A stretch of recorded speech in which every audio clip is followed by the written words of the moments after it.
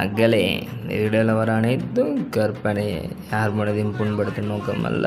வீடியோவை புரிஞ்சு பாருங்க மக்களே. தப்பு தப்பாக வந்து பேசாதீங்க. அப்புறம் நான் தூக்கி அடிச்சிடுவேன் பார்த்துக்க வால் பிரிஜு தலை பிரிஜுன்னு வராங்க அப்படிதான் சொல்லிவிட்டேன் போக்கிரி தமிழ் வெர்சஸ் போக்கிரி தெலுங்கு. இந்த ரெண்டு படத்துக்கும் உள்ள டிஃப்ரென்ஸ் என்னன்னு தான் இந்த வீடியோவில் நம்ம பார்க்க போகிறோம் ஏன் தெலுங்கு வெர்ஷனை விட தமிழ் வெர்ஷன் அதிகமாக கலெக்ஷன் பண்ணியிருக்கு? இதில் என்னென்ன சீனில் மாற்றிருக்காங்க அப்படின்றத இந்த ஒரு வீடியோவில் பார்க்க போகிறோம் அப்படியே வீடியோக்குள்ளே போகிறதுக்கு முன்னாடி நம்ம சேனலை நீங்கள் இன்னும் சப்ஸ்கிரைப் பண்ணலாம். மறக்காமல் சப்ஸ்கிரைப் பண்ணி அந்த பெல் ஐக்கான ஆளில் போட்டுக்காங்க. இப்போ வாங்க நம்ம வீடியோக்குள்ளே போகலாம் ஃபர்ஸ்ட் ஆக்டிங் அப்படின்னு பார்த்தோன்னா மகேஷ் பாபுக்கு அவ்வளோவா ஆக்டிங் வராது.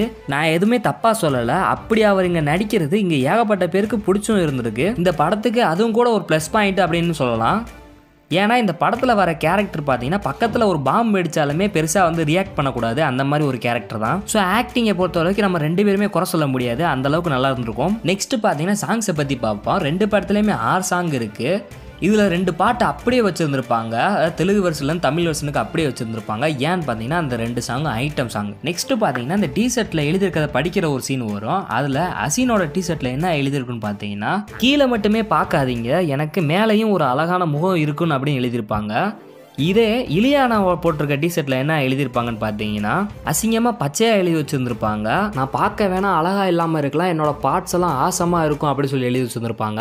ம் ம் ம் எங்கேயும் போயிடாதீங்க. அவங்க கை காலை தான் நான் நினைக்கிறேன். நீங்கள் அப்படின்னு நெக்ஸ்ட் பார்த்தீங்கன்னா குரு பாதியில் செத்துருவார். சத்தியமூர்த்தி தான் கொண்ட மாதிரி காட்டியிருந்திருப்பாங்க. அப்படி செத்தாக அப்புறம் தான் அலிபாய் வந்து வந்திருந்திருப்பாரு.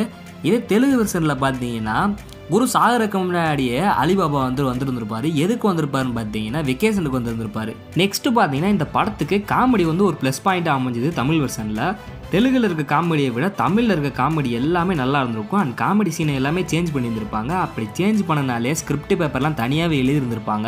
ஏன்னா அந்த சீனோட அந்த காமெடியை வந்து மேட்ச் ஆகி போகணும். அந்த சீனு வந்து மாறிடக்கூடாதுன்றக்காண்டி ரொம்ப தெளிவாக இருந்திருக்காங்க படக்குழு. காமெடியெல்லாம் அவ்வளோ பக்காவாக இருந்திருந்திருக்கும். நம்ம எந்த விதத்துலேயும் வந்து சீன் மாறி இருக்கவே மாறி இருக்காது ஸோ இந்த சேஞ்சஸ்லாம் பண்ணனாலவோ என்னவோ தெலுங்கு வெர்ஷனை விட தமிழ் வெர்ஷன் கொஞ்சம் அதிகமாகவே கலெக்ஷன் பண்ணியிருக்கு. ஸோ இந்த ரெண்டு வெர்ஷனில் உங்களோட ஃபேவரட் ஏதாவது மறக்காமல் கமெண்ட்டில் மென்ஷன் பண்ணுங்கள் ஸோ அவ்வளோதான் guys இந்த வீடியோ இந்த வீடியோ பிடிச்சா லைக் பண்ணுங்கள் ஷேர் பண்ணுங்கள் கமெண்ட் பண்ணுங்கள் அண்ட் மறக்காமல் சப்ஸ்கிரைப் பண்ணி பெல் ஐக்கனை ஆளில் போட்டுக்கோங்க.